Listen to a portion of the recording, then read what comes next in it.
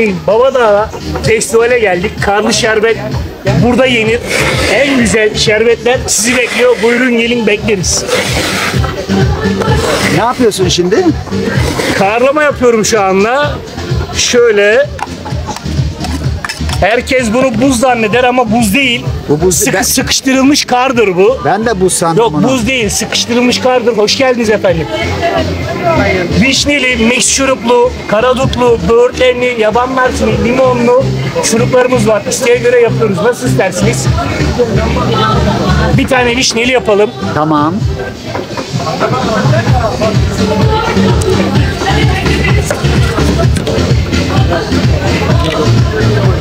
Bu vişne miydi şimdi? Bu vişnedir. Tamam. Tadı mükemmeldir.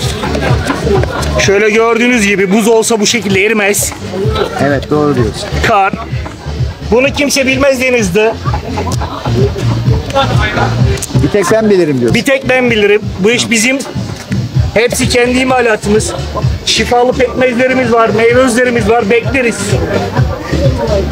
Festival boyunca buradasınız. Buradayız. Şöyle buyurun efendim. Eyvallah. Çok teşekkür ederim kardeşim. Afiyet olsun. Şu da kaşığımız. Çok teşekkür ederim. Afiyet olsun. Bir tezgahınızı anlatır mısınız? Ben kadın girişimciyim. Bütün imalatım kendime ait. Pekmezlerim, meyve özlerim. Ee, alternatif tıpla uğraşıyorum. Pekmezlerimin e, kızılcığım var mesela. Kalp damar için birebir. Keçi boynuzum var. Çocuklarda kullanılıyor. Öksürüğe, e, üşütmeye, kemik dolgunluğu için. Burada en ilginç mamulünüz nedir? En ilginç mamulüm kozalak özüyle kara mürver özü. Türkiye'de çok az yetişen özü? bir kara mürver. Ne demektir bu? Bu kara mürver bir bitki. Şöyle söyleyeyim, bu kara mürver bir, bir çiçek olarak düşünün. Bunun yapraklarında siyanür var. Fakat kendi çiçeği tamamen bir C vitamini deposu. Bunu, buna ya kış başı başlıyorsunuz kullanmaya. Kış sonuna kadar kullanıyorsunuz. Hiç hastalanmıyorsunuz. Kozalak özünde öksürüğe, akciğer problemlerine iyi geliyor. Ha Bir de koronanın bıraktığı lekeleri temizliyor. Ya. Bu sadece reçineyle yani denizinin deyimiyle çam akmasıyla kaynatılıyor. 4 yıl ömrü veriyorum hiçbir bozulma şey olmuyor.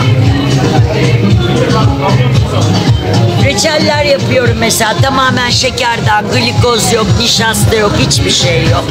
Tamamen doğal. Yağlarım var, kendi çıkardığım yağlar. Kekik suyum var. Mesela şöyle bir şeyim var. Bu bir ekşidir. Sumak ekşisidir bunun adı. Türkiye'de çok az bilinir ama dünyanın her yerinde kullanılır. Mesela şöyle bir ürünüm var. Toros nanesi diye. Bu sadece nane suyu ve portakal kabuğudur.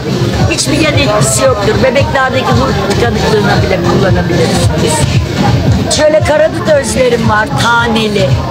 İsterseniz süzülmüş olarak, öz olarak veriyorum. İsterseniz böyle hem suyu karıştırıp içebiliyorsunuz hem de taneli olduğu için e, reçel gibi kullanabiliyorsunuz.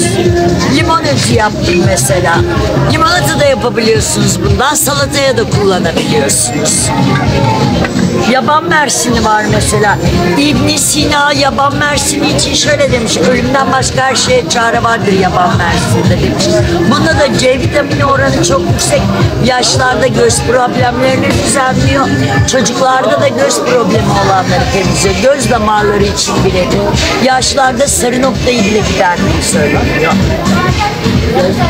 Lavanta. Lavanta özüm var. Sinire, strese.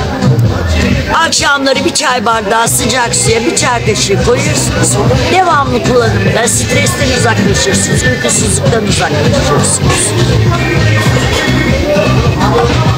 Bunlarda hiçbir katkı maddesi yok. Sadece kaynamayla elde ediyorum.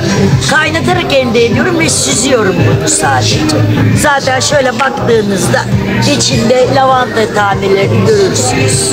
Lavanta ne, ne yaparsanız yapın. Bu zaten içinde tortusunu bırakır. Mesela ben aynı lavantanın pekmezini de yapıyorum. Tahinle de yiyebilirsiniz. Sabahları birer kaşık yutabilirsiniz.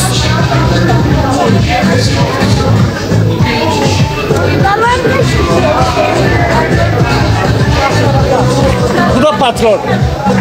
Esas patronu o, Cemre onun ismi. Firma bu onun adıdır.